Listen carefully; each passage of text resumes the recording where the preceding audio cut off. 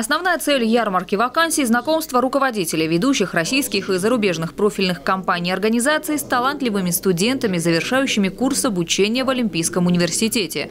Работодатели солидные. Дирекция по подготовке и проведению зимних универсиад 2017 и 2019, которые пройдут в Алматы и Красноярске. Оргкомитет «Россия-2018» по подготовке к футбольному чемпионату, Центр спорта «Эволюция» из города Евпатория, Роза Хутор, Югспорт, администрация курорта, хоккейный клуб Сочи и другие. Да и сами выпускники университета – это уникальный кадровый ресурс.